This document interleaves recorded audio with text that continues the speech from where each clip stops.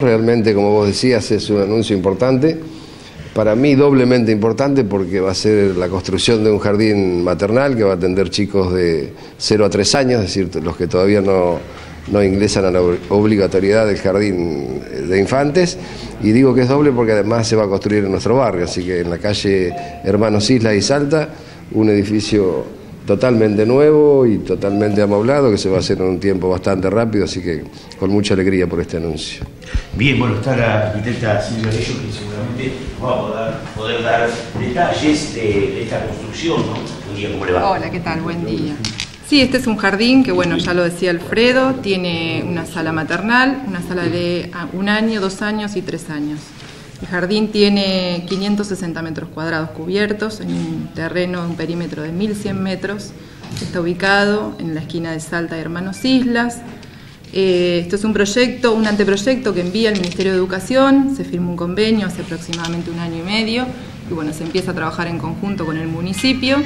Se llega a un proyecto, se presenta y bueno, ya estamos con la licitación en la dirección de compras para para que todos aquellos que quieran comprarla y interesados en oferentes que tengan ganas de, construir este jardín, bueno, los esperamos a todos. Bien, bueno, digo, por ahí sería para Alfredo Quiroga, esto cubriría la necesidad de una barriada importante, ¿no? De lo que es la Carlota y el barrio Fátima. Eh, el otro, digo, a la necesidad de atención materno-infantil. Sí, realmente cuando en aquel momento viajamos con Silvia y el intendente a, y Pupi también nos acompañó ese día, la presidenta del Consejo Escolar, Norma Romé, este, fuimos con la idea de buscar la mejor ubicación que, tuviéramos donde esté la necesidad. Y bueno, se va a construir un, predio importante que ha comprado el municipio para la construcción de un barrio de vivienda este, y nos pareció que era el mejor lugar porque ahí toda la barriada de Villacano, el plan federal de, de la Carlota, la Carlota, los chicos de Fátima, todas las madres este, que son muchas las madres solteras que hay que tienen necesidad de trabajar, van a poder este, eh, tener su trabajo y van a poder dejar sus chicos en un lugar que van a estar muy bien atendidos, este, atendidos de la mejor manera. Esto es lo mejor que se les puede ofrecer para estos casos. ¿La permanencia del niño dentro del lugar cuál es?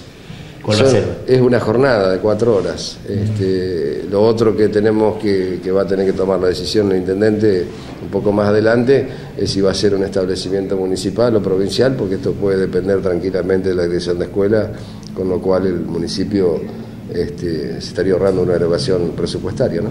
Bien, bueno, ahora sí preguntarle al señor intendente municipal eh, bueno, sobre qué puede decirnos eh, al respecto sobre este, este, anuncio. ¿no? Buen día, ¿cómo le va? Buen día. No, la verdad que para nosotros es una alegría, hemos estado detrás de, un, de estos proyectos durante varios años, sabemos la necesidad de tener un establecimiento de esta medida y con esta intención, digamos, social, habida cuenta que hay muchas madres que trabajan no saben dónde dejar los chicos y, este, y el hecho de poderlo hacer, primero que la, la nación no haya este, posibilitado hacerlo un, edificio de esta característica embragado y nosotros en una barriada que va a complementar una necesidad social importante, nos parece este, bien.